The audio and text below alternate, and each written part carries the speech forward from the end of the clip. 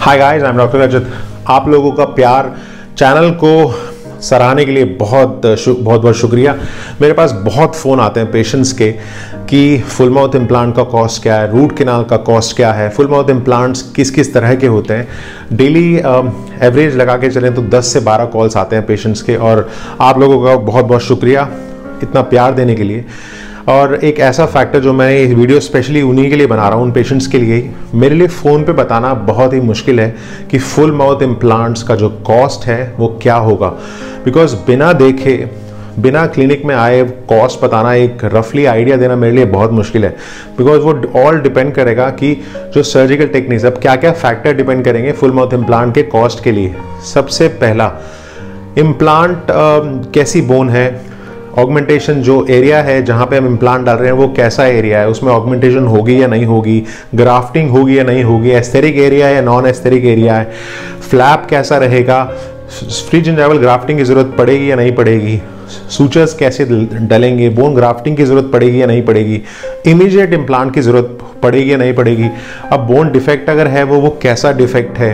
तो बहुत सारे चीज़ें दिमाग में रखनी पड़ती हैं। और उसके बाद जब सर्जरी हम करते हैं तो वो गाइडेड होगी या नॉन गाइडेड होगी।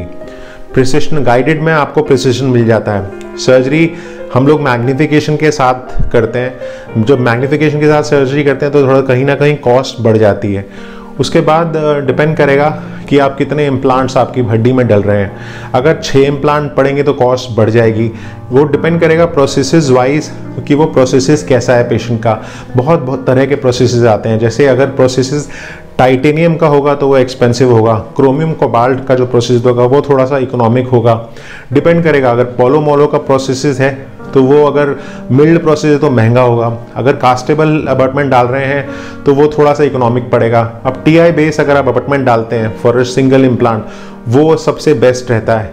हम हमेशा कोशिश यही करते हैं कि जो इम्प्लांट डालें, वो टॉप नॉच डालें।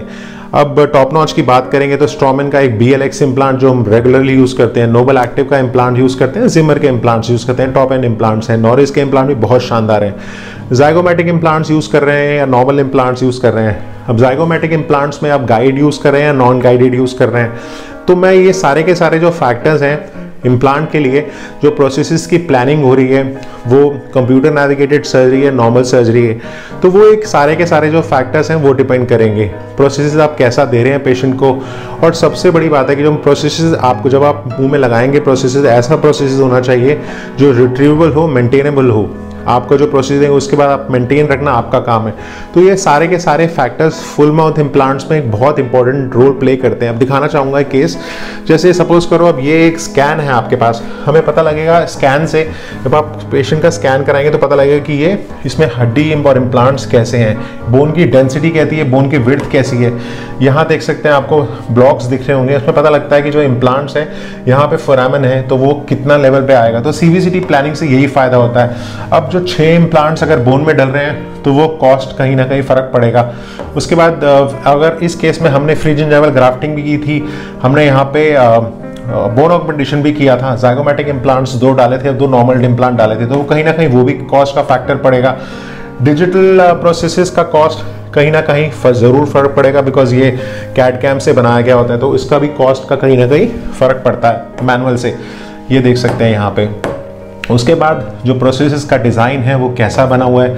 आर्टिकुलेटर आप कर रहे हैं तो वो डिजिटल प्लानिंग है या नॉर्मल है? देख सकते हैं फेसबो रिकॉर्ड हम हर एक हर एक केस में लेते हैं, चाहे वो क्राउन हो, चाहे वो सिंगल क्राउन हो, चाहे वो फुल माउथ रिहैब हो इम्प्लांट्स में तो बहुत ज़रूरी है।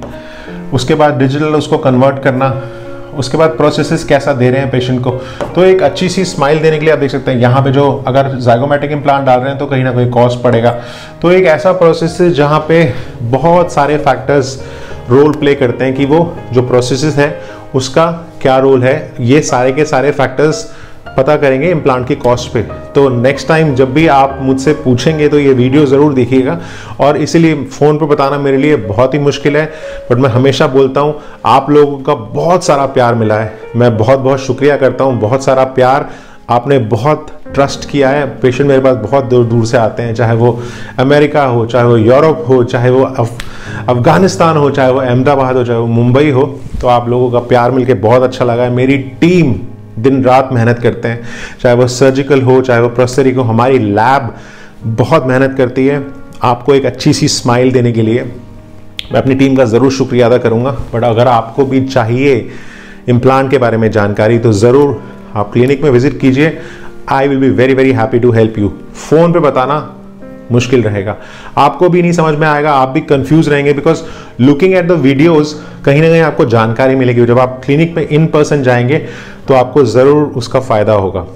तो ये वीडियो ज़रूर शेयर कीजिएगा और अगर आपको अच्छा लगे तो अपने फ्रेंड्स फैमिली के साथ ज़रूर शेयर कीजिएगा। अंटिल नेक्स्ट टाइम शुक्रिया।